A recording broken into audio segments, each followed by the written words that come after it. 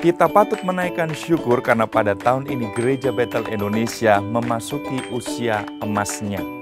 Pada tahun 70, Gereja Betel Indonesia lahir di Sukabumi dan kemudian terus bertumbuh dan berkembang dan sampai hari ini Tuhan terus menolong Gereja Betel Indonesia untuk menjadi berkat bagi Indonesia maupun bagi bangsa-bangsa.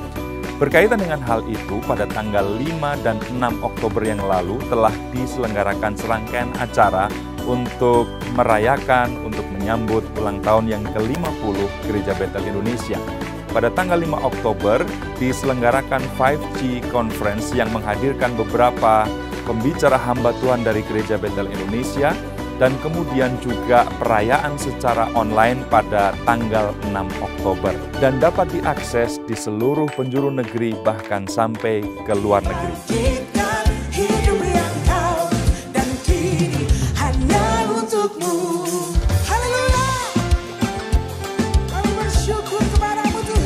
Kita diselamatkan oleh iman. Percaya Tuhan yang memilih dan memanggil kita adalah Tuhan yang setia dari tidak bisa melayani menjadi bisa melayani. Penyalaan lilin dan pemotongan kue ulang tahun Gereja Betel Indonesia yang ke-50 pada hari ini. Badan Pekerja Harian Gereja Betel Indonesia memberikan penghargaan kepada Bapak Pendeta Dr. Julius Ishak Abraham sebagai Dewan Pendiri Gereja Betel Indonesia, Jakarta 6 Oktober 2020. Kita terus berdoa kiranya Tuhan memakai Gereja Betel Indonesia untuk semakin menjadi berkat dan dampak yang luas bagi negeri tercinta Indonesia dan juga bagi bangsa-bangsa.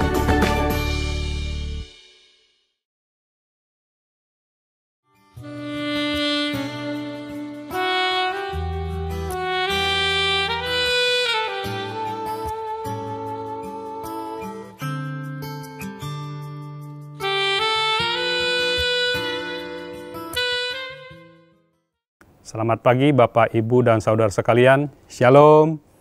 Saya percaya bahwa sampai hari ini kasih Tuhan selalu melimpahkan bagi kita semua. Hari ini kita kembali akan beribadah bersama-sama walaupun dilakukan secara online. Saya percaya kita tetap dapat merasakan hadiratnya di rumah kita masing-masing. Mari siapkan hati dan undang kuasa roh kudus agar saat ini kita semua menerima lawatan Tuhan dan mengalami perjumpaan pribadi dengannya. Mari kita berdoa sebelum ibadah. Bapak Surgawi, kami mengucap syukur dan terima kasih ya Tuhan untuk kesempatan hari ini kami boleh beribadah kembali walaupun secara online, online ya Tuhan.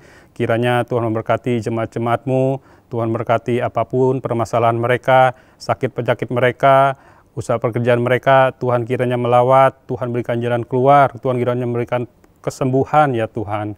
Tuhan memberkati juga untuk para pelayan-pelayanmu, baik worship leader, singer, apa pun pelayanan mereka, biarlah semuanya untuk kemuliaan namamu saja ya Tuhan. Kami berdoa juga untuk hambamu yang akan menyampaikan isi hatimu, kiranya pengurapan daripadamu, agar dapat kami mengerti, agar kami lakukan dalam kehidupan kami sehari-hari. Terima kasih ya Bapak untuk semuanya ini, hanya di dalam nama Tuhan Yesus Kristus kami berdoa dan ucap syukur. Haleluya, amin. Selamat beribadah, Tuhan Yesus memberkati.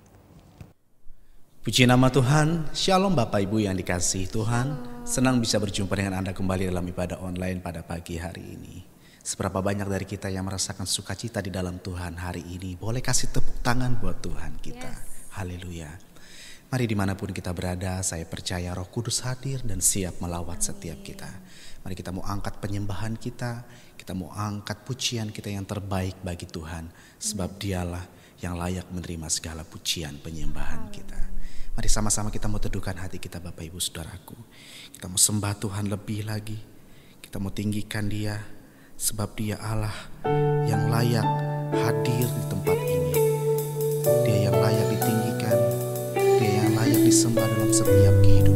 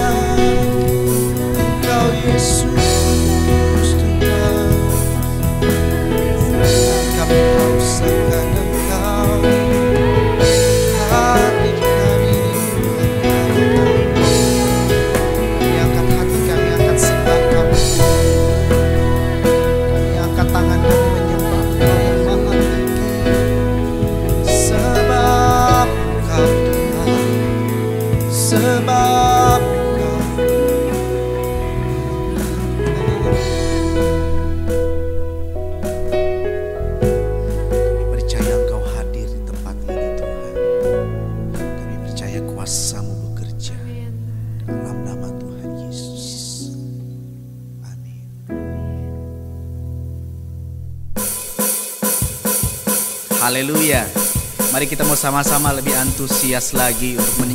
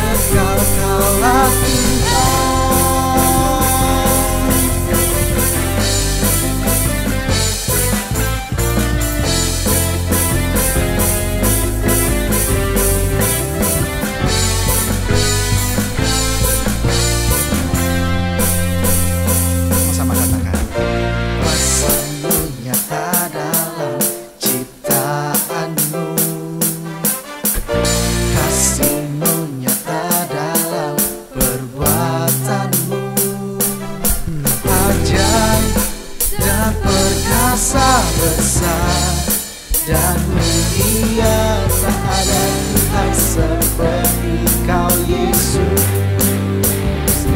Ku bangga memilikimu Ku ada untuk menyembahmu selamanya. Kaulah Tuhan hidupku Namamu masyur dan megah berkuasa atas segalanya dari kekal sampai kekal. Kaulah Tuhan. Ku bangga memilikimu. Ku ada untuk menyembahmu selamanya. Kaulah Tuhan di dahsyat dan megah. Berkuasa atas segalanya Dari kekal sampai kekal. Kaulah Tuhan. Ku bangga memilikimu. Ku ada untuk menyembahmu selamanya. Kaulah Tuhan di hidupku. Namamu dahsyat dan megah Berkuasa atas segalanya Dari kekal sampai kekal Kaulah Tuhan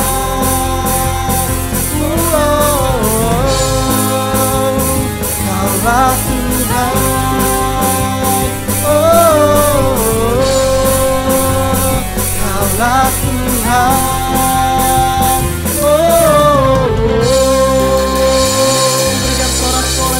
Allah kita Bapak Ibu Saudaraku.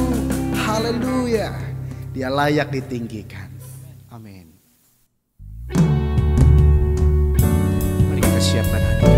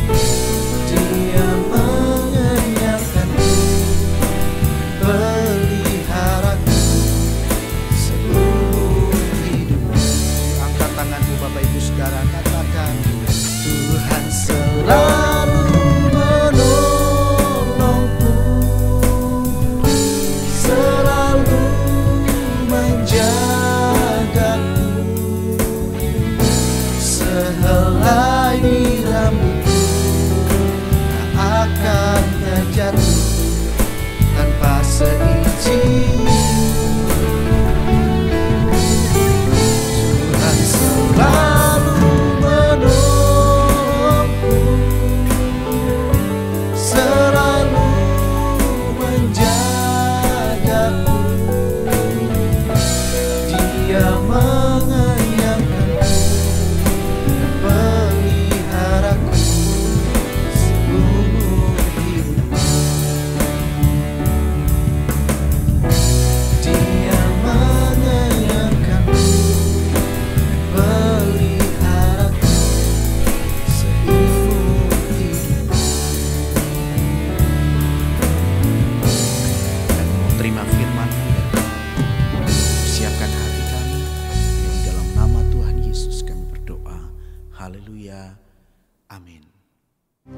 Sebelum kita mendengarkan firman Tuhan, mari kita sama-sama tundukkan kepala kita, kita berdoa. Bapak kami mengucap syukur Tuhan, kalau Engkau telah memimpin ibadah kami sampai sekarang, dan sebentar kami mau mendengarkan sebagian dari firman-Mu, kiranya Engkau yang berbicara kepada setiap kami, sehingga firman yang ditaburkan bisa berakar, bertumbuh, berbuah, bahkan berbuah lebat bagi kerajaan-Mu. Sehingga ketika kami mendengar firman-Mu dan melakukannya, bukan hanya kami diberkati, tetapi terlebih lagi Tuhan, kami menjadi berkat buat orang lain. Kau yang memberkati hambamu yang akan menyampaikan firman Tuhan, dan kami semua yang akan mendengarkan. Hanya di dalam nama Tuhan Yesus Kristus, kami telah berdoa dan mengucap syukur. Haleluya. Amin. Shalom saudaraku, senang sekali saya bisa melayani Anda dengan kebenaran firman pada hari ini. Dan saya percaya Tuhan hadir di mana pun saudara menyaksikan ibadah ini ketika hatimu terbuka, lawatan Tuhan akan terjadi. Hari ini saya akan membahas firman dengan sebuah pertanyaan. Anda Kristen sejati? Pada masa kini ada banyak orang yang menyebut dirinya Kristen, tapi hidupnya sering kali menjadi batu sandungan bagi banyak orang. Ada yang utang gak mau bayar, ada yang suka nipu orang, ada yang kawin cerai, pokoknya banyak yang Kristen KTP, Kristen tanpa pertobatan. Padahal Alkitab berkata barang siapa mengatakan bahwa ia ada dalam Kristus, dia wajib hidup sama seperti Kristus telah hidup. Saudara Christian means Christ in someone. Orang Kristen itu adalah orang yang tahu bahwa Kristus tinggal di dalam dirinya. Karakter Kristus harus dia miliki. Itulah yang disebut sebagai murid di dalam Alkitab. Pada waktu Yesus ada di atas muka bumi ini ada banyak orang berbondong-bondong mengikuti dia. Pada waktu Yesus membuat mujizat, pada waktu Yesus memberi makan 5.000 orang lebih hanya dengan lima roti dan dua ikan. Banyak sekali orang berbondong-bondong mengikut dia. Tetapi hanya 12 orang yang disebut sebagai murid Kristus. Merekalah orang-orang yang selalu menyertai Kristus di mana pun dia berada. Dan kemudian 12 ini disebut sebagai 12 rasul tentu minus uh, Yudas Iskariot yang telah menyangkal dia. Saudara sekalian, mereka adalah rasul, artinya orang yang diutus untuk memberitakan Injil. Dan mereka adalah orang yang sungguh-sungguh menjadi murid sejati, yang bahkan rela mati syahid demi mempertahankan iman kepada Kristus dan memberitakan firman Tuhan. Saya percaya pada akhir zaman ini yang Tuhan cari bukan sekedar orang Kristen yang berbondong-bondong, tapi murid Kristus sejati. Apa itu murid?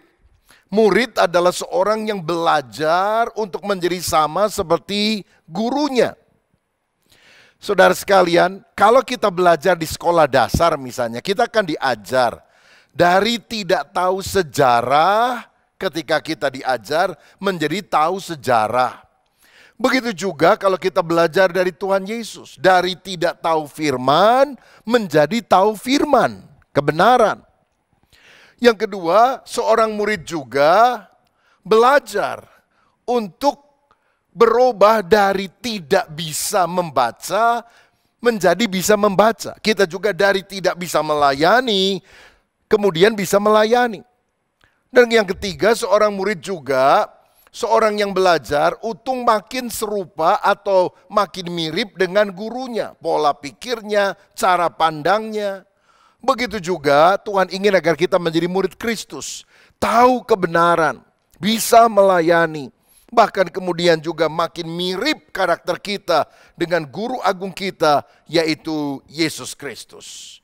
Saudara, salah satu teladan yang kita bisa ikuti tentang murid sejati adalah dari jemaat Tesalonika yang didirikan oleh Rasul Paulus.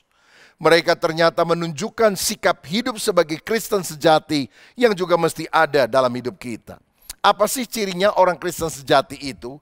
Ada tiga hal yang kita akan lihat dari 1 Tesalonika fase pertama ayat 2 dan 3 yang berbunyi demikian.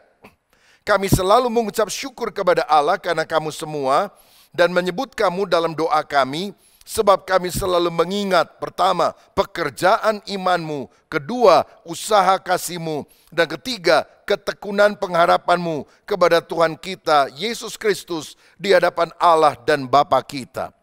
Ayat 9 dan 10, Sebab mereka sendiri bercerita tentang kami bagaimana kami kamu sambut dan bagaimana kamu berbalik dari berhala-berhala kepada Allah untuk melayani Allah yang hidup dan yang benar dan untuk menantikan kedatangan anaknya dari sorga yang telah dibangkitkannya dari antara orang mati, yaitu Yesus yang menyelamatkan kita dari murka yang akan datang. Ciri murid Kristus sejati, ciri orang Kristen yang benar-benar berkenan kepada Allah. Yang pertama, dia harus memiliki pekerjaan iman. Berarti kita tidak boleh punya iman saja, tapi iman yang dinyatakan dalam pekerjaan atau perbuatan baik. Kita tidak boleh hanya memiliki pekerjaan baik, menolong orang, tapi itu harus lahir dari iman kepada Kristus yang menyelamatkan. Yakobus 2 ayat 17 berkata, demikian juga halnya dengan iman, jika iman itu tidak sertai perbuatan, maka iman itu pada hakikatnya adalah mati. Saya ingat satu kali ada seorang yang ketemu dengan saya dan setelah berbincang-bincang, kemudian dia tahu saya hamba Tuhan, dia bilang, oh Bapak pendeta ya, saya juga orang percaya katanya. Oh puji Tuhan saya bilang, Anda sudah dibaptis? Oh saya sih percaya Yesus tapi belum dibaptis.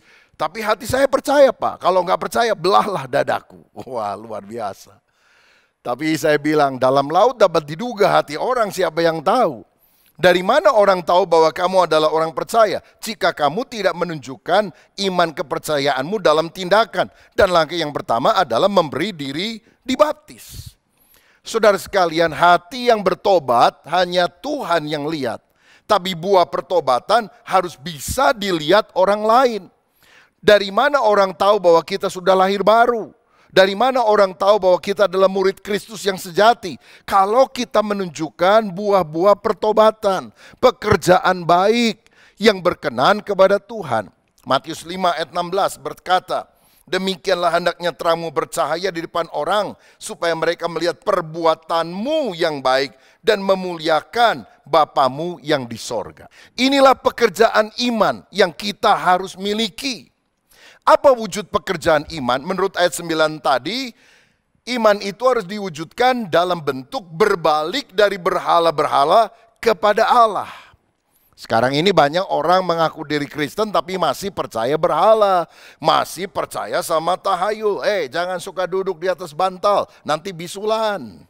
Eh, jangan tanam pohon pepaya di depan rumah, nanti nasibnya payah. Kalau mau beli rumah, jangan yang tusuk sate, nanti nggak ada berkat. Cari yang tusuk konde saja.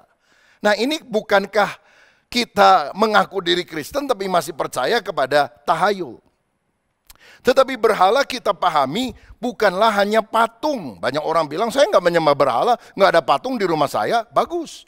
Tapi berhala adalah sesuatu atau seseorang yang kita sangat hargai dan kita tempatkan di tempat yang seharusnya hanya ditempati oleh Tuhan Allah sendiri. Nah pada masa kini saya melihat setidaknya ada dua jenis berhala modern yang harus kita hindari. Kita harus bertobat dari hal ini. Yang pertama adalah mamon atau roh materialisme. Di dalam Matius 6 ayat 24 Tuhan berkata, "Kamu tidak bisa mengabdi kepada dua tuan. Kamu tidak bisa mengabdi kepada Allah dan tidak bisa mengabdi kepada Mamon." Nah, ada berapa banyak orang jadi Kristen hanya supaya dia ingin lebih kaya? Eh, jadi Kristen loh, kalau enggak bangkrut. Jadi Kristen, nanti usahanya tambah maju, mobilnya tambah bagus, rumahnya tambah gede. Nah, jika demikian itu dagang, saudara. Itu untung rugi, bukan penyerahan mutlak kepada Tuhan kita ini harus menghindari teologi kemakmuran. Teologi kemakmuran itu mengajarkan cirinya saudara itu rohani, dicintai Tuhan, kamu tambah kaya. Kalau mobilmu tambah bagus, pabrikmu tambah besar, rumahmu tambah mentereng, duitmu tambah banyak, itu tandanya kamu diberkati oleh Tuhan, dicintai oleh Tuhan. Kamu menjadi orang yang rohani. Saya melihat ada banyak orang yang merupakan manusia terkaya di dunia, atau terkaya di Asia misalnya. Kebanyakan mereka bukan orang Kristen.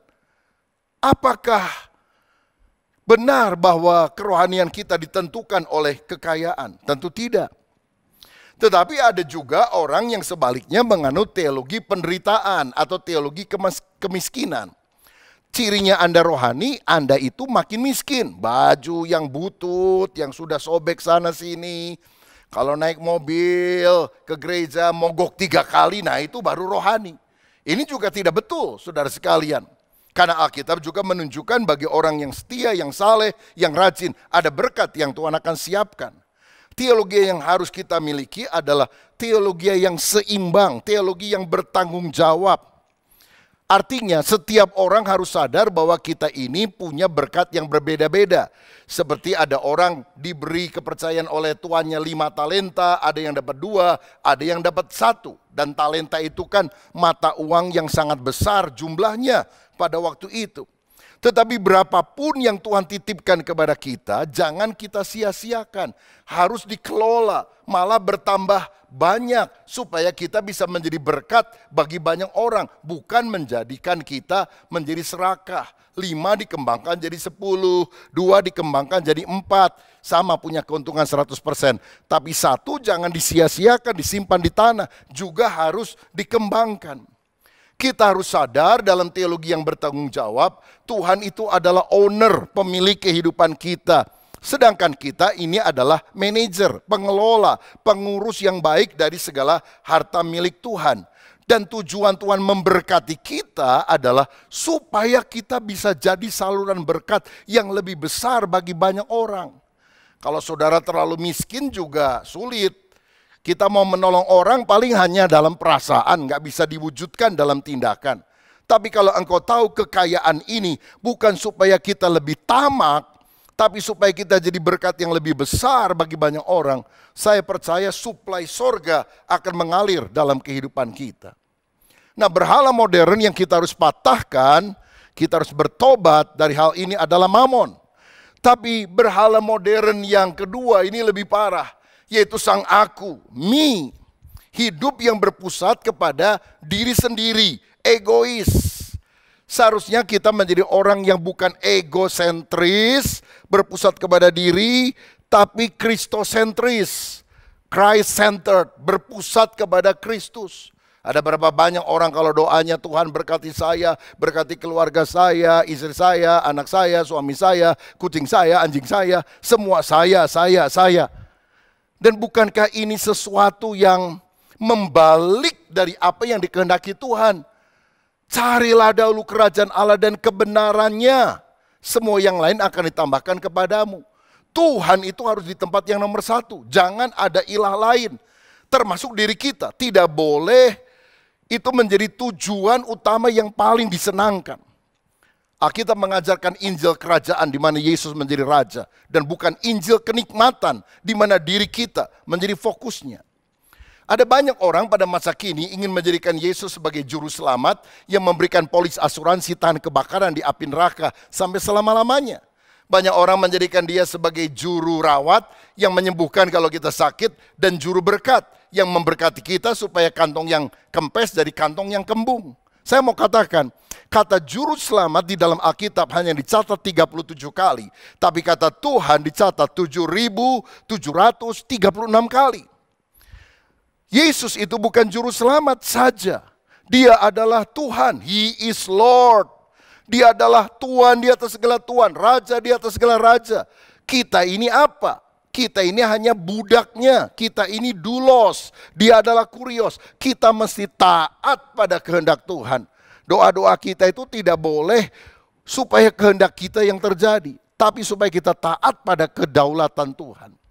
Saya percaya kalau kita menjadi orang yang punya pekerjaan iman semacam ini. Berbalik dari berhala-berhala. Meninggalkan sifat materialistis dalam hidup kita. Lalu kemudian menyalipkan keinginan si aku dan taat kepada Tuhan. Kitalah orang Kristen sejati yang Tuhan rindukan. Haleluya. Yang kedua, saudara sekalian, ciri Kristen sejati atau murid Kristus yang sejati adalah dia memiliki usaha kasih. Artinya kita harus memiliki kasih yang dinyatakan di dalam usaha. Bukan sekedar perasaan, feeling, tapi benar-benar di dalam perbuatan. Kalau saudara lihat orang miskin, kelaparan, lalu kita bilang, aduh kasihan ya. Cuma bisa begitu, cecek lebih hebat daripada kita karena dia bisa berdecak lebih nyaring daripada kita. Kalau ada orang kelaparan, pergi ke rumah kita, mengetuk pintunya, lalu dia bilang, Pak, Bu, tolong saya lapar, udah tiga hari nggak makan.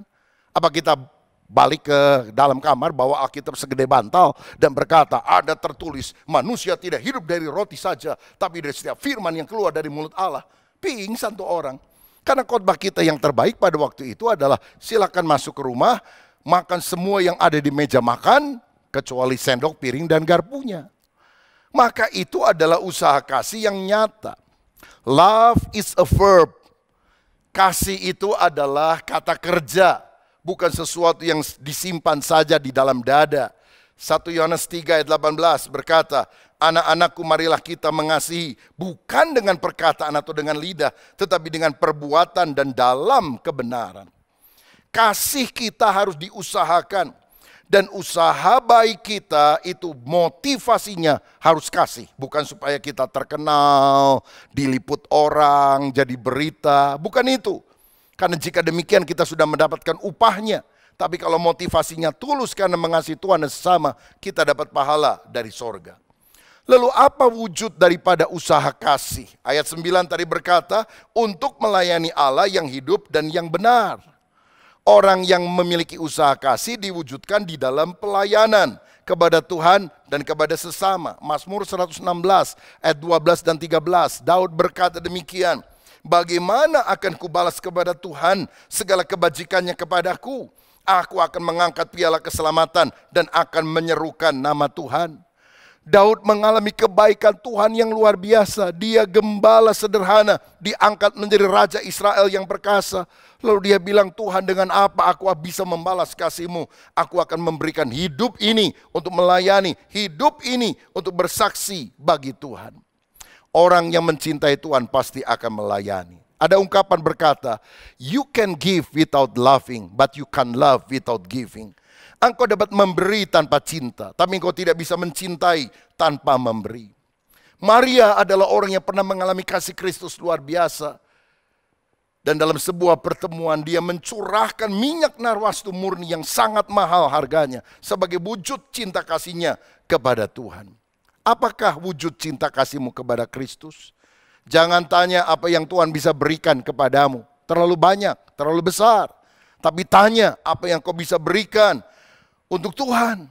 Kalau kau mengasihi Tuhan, mungkin kau bisa membuka rumahmu untuk mempersilahkan teman-temanmu hadir di dalam pertemuan kelompok sel.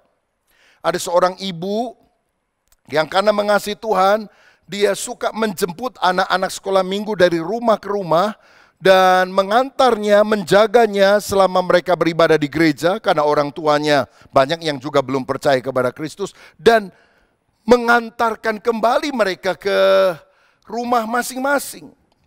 Saya pernah tanya, ibu nggak ngajar sekolah minggu? Enggak, saya rasanya nggak punya karunia untuk bercerita dan sebagainya. Tapi ini saja bagian saya. Dan dia memenangkan begitu banyak anak lebih daripada orang-orang lain, bahkan lebih daripada guru sekolah minggu. Karena itulah wujud kasihnya kepada Tuhan. Saudara sekalian, ada mahasiswa yang walaupun uangnya terbatas karena mengasihi Tuhan dan sesama, dia menyisihkan sebagian uangnya. Dia menjadi orang tua asuh yang menyantuni anak-anak supaya mereka bisa sekolah. Luar biasa sekali. Saya diajar oleh orang tua saya untuk mewujudkan kasih kepada Kristus antara lain dengan mengembalikan persepuluhan yang adalah milik Tuhan dari saya berusia 9 tahun sampai hari ini. Belum jadi pendeta, masa 9 tahun udah jadi pendeta. Dan saya kemudian melihat bahwa yang pertama memberikan persepuluhan adalah Abraham di dalam Alkitab. Dan itu disebabkan karena dia mencintai Tuhan sebagai tindakan iman yang kemudian ditiru oleh Yakub yang adalah keturunannya, yang adalah cucunya. Saudara, banyak orang kemudian berkata, bukankah perpuluhan sekarang sudah tidak berlaku lagi karena itu adalah hukum Taurat di dalam perjanjian lama. Saya mau katakan, dalam perjanjian baru, hukum yang dilakukan bukan hukum Taurat, tapi hukum kasih. Dan saya percaya kasih berarti memberi lebih besar dari yang kita diwajibkan. Tapi semuanya berasal dari hati yang terdalam. Bukankah Taurat itu menurut Galatia hanyalah penuntun sampai kita berjumpa dengan Kristus? Hidup kita 100% adalah milik Kristus dan 10% itu hanyalah jumlah minimal yang kita bisa berikan kepada dia. Bukan supaya kita mendapatkan keuntungan lebih besar, tidak. Tapi karena kita mencintai Tuhan. Di mana hartamu berada, di situ hatimu berada. Kalau engkau sungguh mengasihi Tuhan Yesus, maka engkau juga akan belajar memberikan yang terbaik kepada Tuhan. Yang ketiga, apa cirinya orang Kristen sejati atau murid sejati? Dia memiliki ketekunan pengharapan menurut ayat 3 tadi. Bukan hanya punya pengharapan tapi bertekun. Bukan hanya bertekun biasa, tapi ketekunan itu lahir dari pengharapan. Pengharapan akan apa? Ayat 10, menantikan kedatangan Yesus dari sorga. Kita ini harus memiliki pengharapan tidak lama lagi Yesus akan datang untuk kali kedua. Karena itu kita mesti tekun. Tekun beribadah, tekun berdoa, tekun di dalam kehidupan yang saleh Jangan seperti lima gadis yang bodoh yang membawa pelita tapi tidak menyiapkan minyak. Tetapi seperti lima gadis yang bijaksana, selalu ada minyak cadangan. Dan ini bicara tentang kesiapan kita karena kita taat kepada pimpinan Roh Kudus menantikan kedatangan Tuhan. Beberapa orang bertanya kepada saya, "Pak, apakah COVID-19 ini adalah tanda kedatangan Kristus untuk kali kedua?" Saya berkata, setidaknya itu adalah persiapan untuk kita menyambut kedatangan Kristus kedua. Masa persiapan supaya kita lebih sadar bahwa segala yang ada di dunia ini fana dan kita pasti akan ketemu dengan Tuhan. Kalau gitu kapan Yesus datang? Ah, kita berkata tidak ada yang tahu, malaikat tidak tahu, anak manusia tidak tahu, hanya Bapak sendiri. Karenanya kita tidak boleh menjadi tim perencana kedatangan Tuhan yang menghitung-hitung kira-kira Tuhan datang kapan ya. Tapi kita harus menjadi tim penyambutan kedatangan Tuhan. Kapan pun Tuhan datang, ya Tuhan biar aku ditemukan siap sedia untuk menyambut kedatanganmu. Lagi pula kedatangan Tuhan itu bisa terdiri dari dua jenis. Yang pertama kedatangannya secara global atau yang kedua kedatangannya secara personal. Maksudnya apa? kedatangan Yesus secara global berarti dia turun dari sorga dan kita diangkat berjumpa dengan dia di awan-awan. Waktunya kita nggak tahu kapan. Tapi kedatangan Kristus personal adalah kalau nanti malam saudara tidur, lalu nggak pernah bangun lagi, nah itu berarti Tuhan yang datang dalam hidup saudara untuk menjemput. Karena itu mari kita siapkan diri. Karena kita kan nggak tahu kapan Tuhan akan datang untuk menjemput kita, setidaknya secara personal. Jadi sikap apa yang kita harus miliki untuk menantikan kedatangan Kristus yang makin singkat ini. Ada dua hal yang juga dicatat di dalam perikop tadi. Yang pertama kita harus hidup taat sehingga menjadi teladan. 1 Tesalonika 1 ayat 6 dan 7 berkata, Dan kamu telah menjadi penurut kami dan penurut Tuhan, dalam penindasan yang berat kamu telah menerima firman itu dengan sukacita yang dikerjakan oleh roh kudus sehingga kamu telah menjadi teladan untuk semua orang yang percaya di wilayah Makedonia dan Ahaya. Tuhan mau kita taat kepada firman-Nya, nurut. Ketaatan mendatangkan berkat, ketidaktaatan mendatangkan kutuk dalam hidup kita.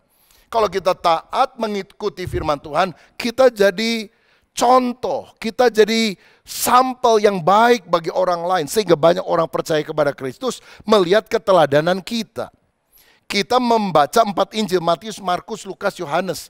Tapi orang dunia membaca Injil kelima, yaitu kehidupan kita yang dicocokkan dengan firman Allah. Sehingga kita bisa menjadi teladan. Berarti kita harus membuang segala dosa dan mempersiapkan diri untuk menantikan kedatangannya. Dalam Roma 13 ayat 12 sampai 14 dikatakan, hari sudah jauh malam, telah hampir siang, sebab itu marilah kita menanggalkan perbuatan-perbuatan kegelapan dan mengenakan perlengkapan senjata terang.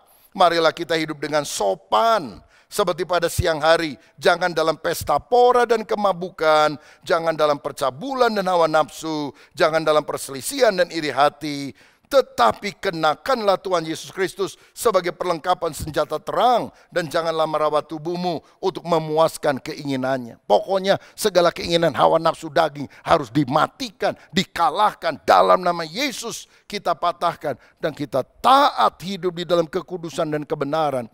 Itulah sikap hidup yang Tuhan mau agar kita miliki dalam hidup ini. Hidup taat sehingga menjadi teladan. Dan yang kedua yang terakhir, kita harus hidup memberitakan Injil. Itulah ketekunan pengharapan menantikan kedatangannya yang kita perlu lakukan. Ayat 8 berkata, karena dari antara kamu firman Tuhan bergema bukan hanya di Makedonia dan Ahaya saja, tetapi di setiap tempat telah tersiar kabar tentang imanmu kepada Allah sehingga kamu tidak usah mengatakan apa-apa tentang hal itu. Jemaat Tesalonika menantikan kedatangan Tuhan dengan cara apa? Menggemakan kabar baik, mewartakan kabar Injil kepada orang-orang yang belum percaya. Kalau engkau sungguh menantikan kedatangan Tuhan, cirinya bukan cuma diam sendiri, diam dan berkata, "Oh Tuhan, kapan engkau datang?" lalu naik loteng supaya kalau pengangkatan paling cepat diangkat. No engkau harus pergi untuk menceritakan kabar baik. Bahkan saya mau katakan di tengah pandemi ini, ini adalah kesempatan yang sangat tepat untuk kita memberitakan kabar Injil. Karena sekarang ini ada banyak orang takut mati loh saudara sekalian. Dan mereka nggak tahu kalau mati mereka masuk neraka atau masuk surga. Bukankah kita harus mewartakan kabar keselamatan bahwa Yesus satu-satunya juru selamat. Percayalah kepada Yesus, engkau akan selamat, engkau dan seisi keluargamu. Hari-hari ini banyak juga orang yang stres, yang khawatir karena resesi. Aduh gimana nanti saya bisa makan enggak ya? Aduh ah, krisis ini bisa saya atasi atau tidak? Tapi ketika kita datang dan berkata percaya kepada Yesus, dia gembala kita yang baik, dia akan selalu menuntun kita pada padang yang berumput hijau. Tuhan akan menyediakan karena dia Yehova Jireh, Allah yang menyediakan. Nah saudara, bisa memberitakan kabar baik tidak hanya secara langsung, mungkin karena masalah pandemi kita tidak bisa ketemu secara langsung dengan banyak orang, tapi kita bisa pakai sosial media. Saudara bisa chatting, saudara bisa beritakan kabar baik lewat Facebook, Instagram, YouTube, lewat apa saja sarana yang kita miliki. Jangan suka sebarin hoax, Jangan bagi-bagikan yang berita menakutkan, tapi ceritakan kabar baik tentang Yesus. Matius 24 ayat 14 berkata, dan Injil kerajaan ini akan diberitakan ke seluruh dunia menjadi kesaksian bagi semua bangsa. Baru setelah itu tiba kesudahannya. Karena itu ayo kita sama-sama pada hari-hari di mana pandemi ini masih merajalela di mana-mana. Kita sehati menuntaskan amanat agung Yesus. Dalam Matius 28 ayat 19 dan 20 Yesus berkata kepada murid-murid yang sejati, pergilah, jadikan semua bangsa muridku, baptislah dan ajarlah. Saudaraku, apakah kita mau taat kepada perintah Tuhan untuk melakukan apa saja yang Tuhan suruhkan kepada kita sehingga kita benar-benar menjadi murid sejati. Hari ini mari kita renungkan, ada tiga ciri dari murid Yesus sejati. Ciri dari Kristen sejati. Pertama adalah pekerjaan iman, yang diwujudkan dengan meninggalkan berhala-berhala. Yang kedua adalah usaha kasih yang diwujudkan dalam bentuk melayani Allah yang hidup dan yang benar.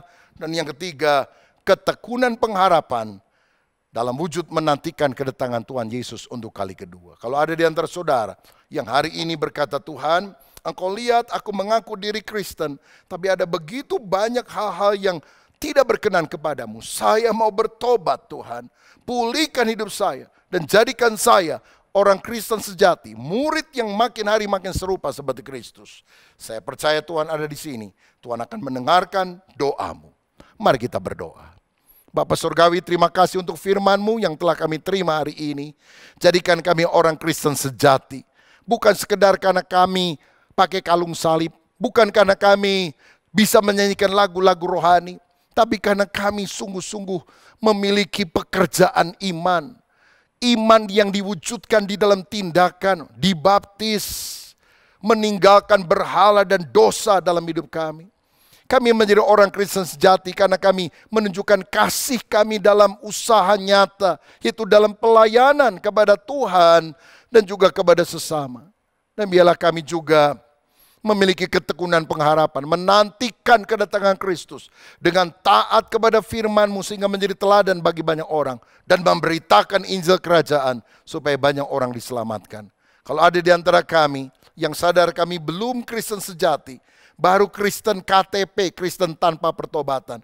Kami mau buka hati hari ini, mengundang Yesus masuk dalam hati kami, menyucikan hidup kami, sehingga kami menjadi anak Allah yang memiliki hidup kekal sampai selamanya. Berkat atas kami dalam nama Yesus. Amin. Tuhan Yesus memberkati. Puji Tuhan. Mari kita bersama-sama mengakhiri ibadah kita pada pagi hari ini dengan menutupnya di dalam doa. Bapa di dalam kerajaan surga, terima kasih Bapa. Kalau pada pagi hari ini kami boleh mendengar isi hatimu, kami boleh mendengar firman yang sudah engkau sampaikan melalui hambamu ya Bapa. Biar firmanmu itu boleh tertanam di dalam hati kami, boleh menjadi rema di dalam penghidupan kami ya Bapak memberkati hambamu yang menyampaikan isi hatimu, kau berkati pelayanannya dan berkati juga keluarganya. Kiranya pelayanannya boleh menjadi berkat dan boleh membanyak, membawa banyak jiwa-jiwa bagi kebesaran dan kemuliaan namamu. Terima kasih Bapa di surga, kami berdoa juga untuk persembahan yang sudah kami berikan ya Bapak, untuk memperluas kerajaanmu ya Bapak, biar persamaan itu boleh menjadi berkat, dan persembahan itu boleh digunakan untuk menjadi kemuliaan bagi namamu ya Bapa. Terima kasih Bapa memberkati juga para gembala kami ya Bapa untuk Pak Julius, untuk beliau bisa melayani Engkau dengan luar biasa ya Bapa. Memberkati juga Pak Rubin Adi dan juga Pak Suito sebagai wakil gembala kiranya Engkau berkati mereka senantiasa di dalam pelayanannya. Terima kasih Bapa untuk kami yang menyaksikan ibadah online ini juga Engkau berkati untuk masalah-masalah yang ada di dalam hidup kami, untuk sakit penyakit dan juga untuk problem-problem ya Bapak pekerjaan dan lain-lain kiranya Engkau sudah menyelesaikannya ya Bapak bersama-sama dengan Engkau. Terima kasih Bapa di surga, akhirnya kami tak lupa juga berdoa untuk bangsa dan negara kami Indonesia. Kau berkati bangsa ini Bapa. Kami tahu bahwa bangsa ini membutuhkan Engkau. Berkati para pemimpin kami Bapa. Mulai dari presiden kami sampai dengan pembantu-pembantunya baik di tingkat pusat maupun daerah. Kau beri hikmat marifat kepada mereka supaya mereka boleh mengelola bangsa ini dengan takut akan Engkau dan kerinduan kami adalah bangsa ini boleh percaya bahwa hanya Engkaulah satu-satunya Tuhan dan Juru Selamat. Mari bersama-sama kita mengangkat kedua tangan kita untuk mohon berkat dari Bapa di surga. Damai sejahtera daripada Bapa di surga, kasih sayang daripada Tuhan kita Yesus Kristus, persekutuan, penjagaan daripada Roh Kudus menyertai kita semua mulai dari pagi hari ini kekal sampai selama-lamanya. Amin. Sebagai info tambahan bagi jemaat yang akan membutuhkan dukungan doa maupun membutuhkan konseling pribadi, saudara dapat scan barcode atau menghubungi nomor WA ini.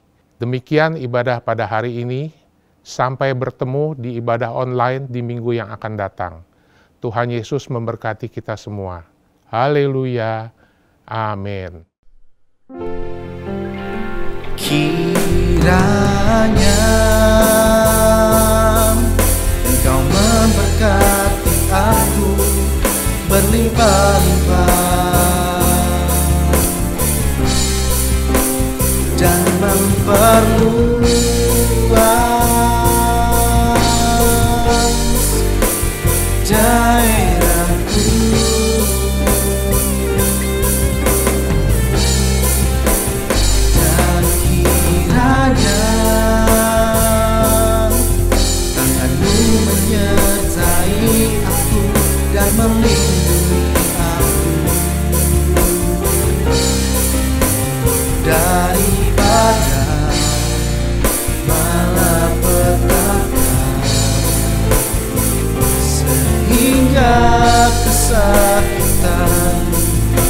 tidak menimpa aku